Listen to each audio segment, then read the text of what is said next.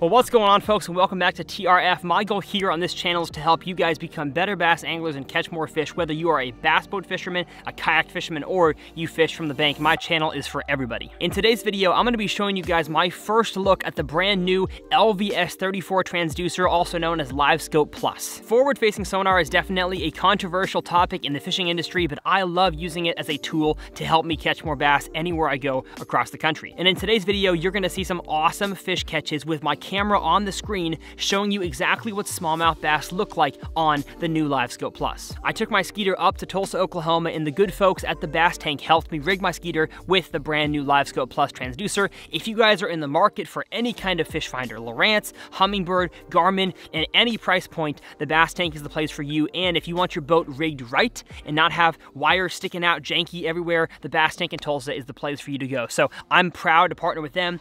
You guys see the Bass Tank carpet decal up there in every single video. I am proud the Bass Tank has a hand in helping build my boat. Whatever your opinion is of this video, I hope that you enjoy me and my wife catching some awesome smallmouth bass and showing you exactly what it looks like on the screen. Let's get on the water.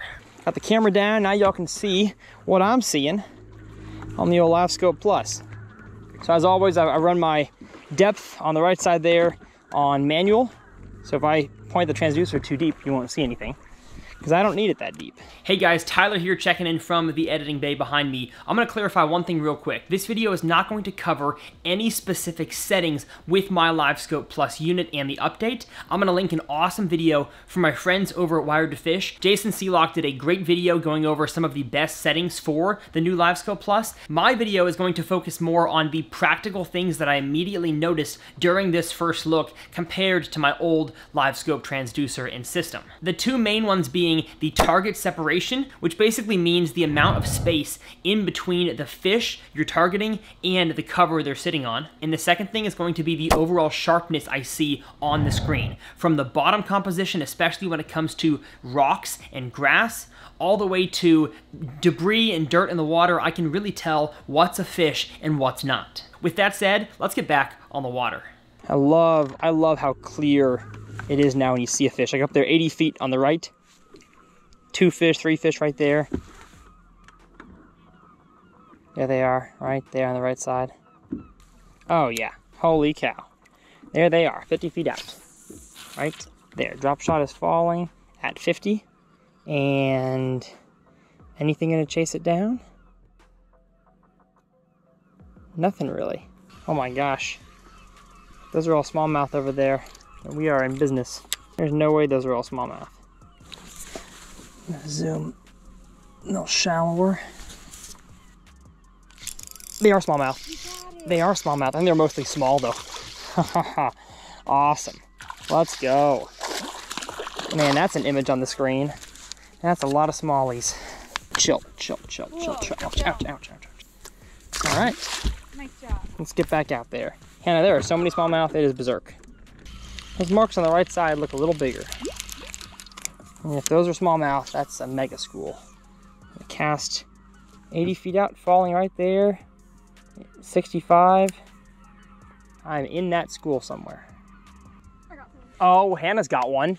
Yes, she got one. Her slow approach back there made it happen. See, some of these are smallies, just not all of them. He's not bad. That's a nice one. Nice little smallie, Hannah. Got him. Yes, you did. Cool. Want to touch him goodbye? Bye-bye. Bye, buddy. oh, but the ones that I'm casting at, look at that. Come on now. You've caught how many fish? Three? No, total today. Four? So four. There's one. Got him. Out of that school in front of me. So what we're seeing, folks, on the screen, see him right there? Oh my goodness, 35 feet. He's near the top of the water and none of his friends came with him. None of his friends came with him. So these are all smallmouth. They're just small and hard to get to bite, which you wouldn't think that that would be the case. But I can definitely tell all these fish individually. On the first version of LiveScope, I would have seen like a blob of fish that I probably would have thought was bait fish, especially with how small these smallies are. But I will take smallies all day, don't care the size. Thank you, my friend. Right to the right of me. Yep.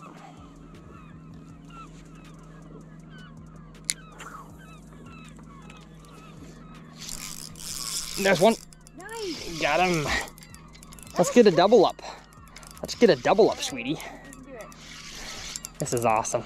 This is awesome. I think this one's a little bit bigger. a little bigger. There we go. Also doesn't mess up your drop shot weight when you uh, get him in the net.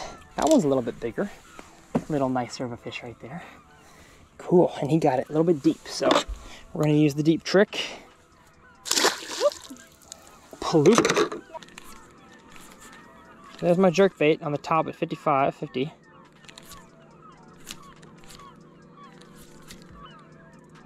Little bit shallow. These fish don't seem to want to come up for one that's only four feet beneath the surface. Oh, here comes one. Here comes one. Oh, and he backed away.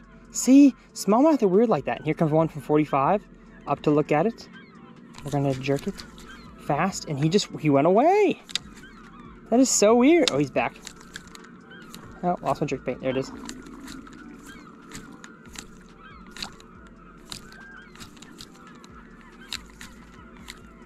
And nothing wanted it on that cast. I see some what looks like bigger marks 65 feet out. So let's go ahead and there I am at 75. Perfect.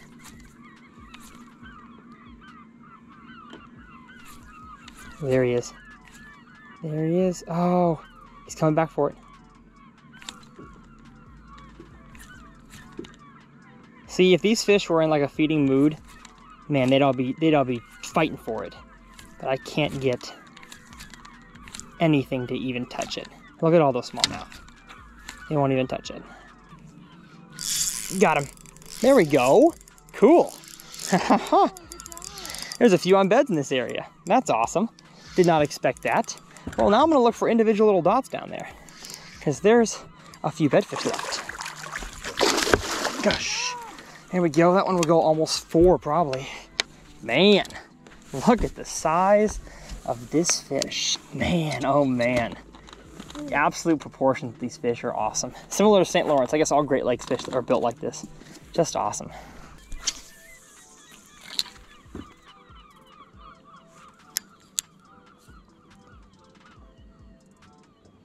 One's following me down.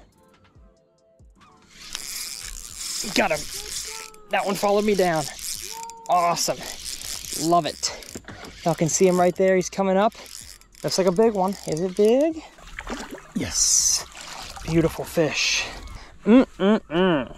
Droppy, droppy shot. There are just so many stinking fish down there, and they're all like that. Mmm. As the wife says, ew. Oh yeah, see out there at 65 feet, there's a few really big, deep marks. I cast out there 65 feet, it's about 65. Perfect, falling at 70, that's where they are now. Oh, come on. Do it for me. Do it for me, turn around. Oh, one's going down to it. One's going down.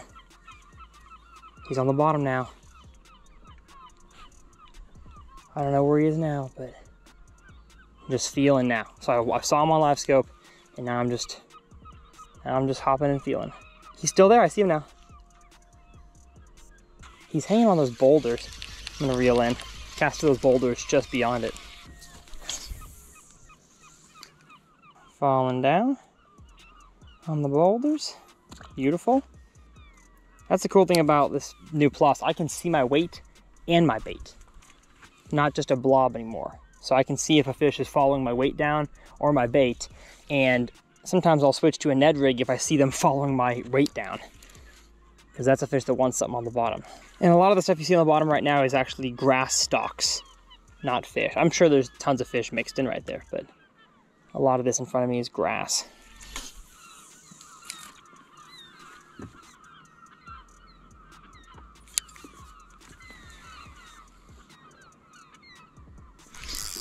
I knew that was one, right out there in the grass. Just made enough casts into the grass and got one. There he is, down there at 30 now. He's bringing a friend with him, behind him. Yeah, he's got a friend with him. Where? Right behind him. I can't see him now. Oh, here he is, there he is, there he is. Right, oh, that was not the flip you wanted right there. That's okay. His friend is gone now. And on a spot like this, it's really all about just making enough casts out there because there's so many fish. Some are gonna bite, some are not. It's just amazing how much clearer everything is. The fish, the stalks of grass. Look at my drop shot going down. You see the weight and the and the bait. Oh, there's a fish following it down. Well, he followed and then turned. And now he wants it no more. it's the grass and the rocks that I'm really impressed with. I could always see fish, but now I can see grass and rocks and cover just really well.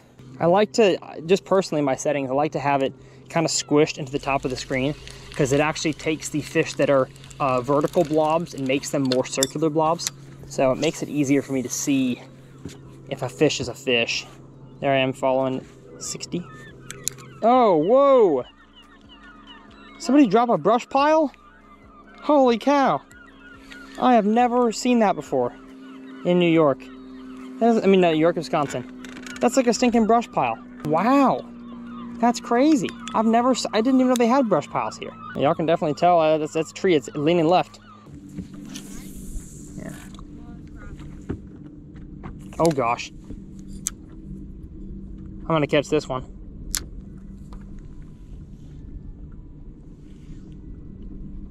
Come on, eat it.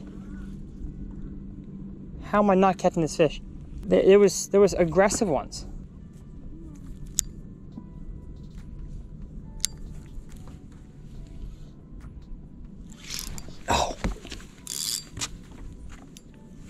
Man. He came back for it. He came back for it. Yes. We got him. Oh, that was awesome. There we go. Finally got us one. Took us stinking long enough. Hopefully y'all could see that guy shot down for it. Well, hope y'all enjoyed this first look at LiveScope Plus. I guess it might not be a first look, at least first look on my channel. There's been many looks on other channels. LiveScope is a tool that I use to help me catch more fish. There are many different opinions about forward-facing sonar, but I absolutely love it because it allows me to make more memories like this. If you wanna see an awesome uncut style, cameras rolling, never stops video, two and a half to three hours of awesome smallmouth action, I will leave that up here in this corner. My name's Tyler, and we'll see you guys next time right here on TRF.